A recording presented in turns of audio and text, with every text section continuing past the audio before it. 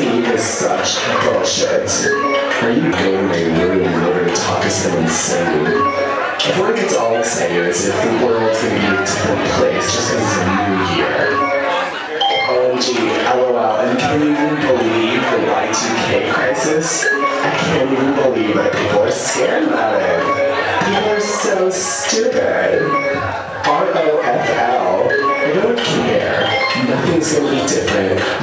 Nothing's gonna change. Oh, and time for the countdown.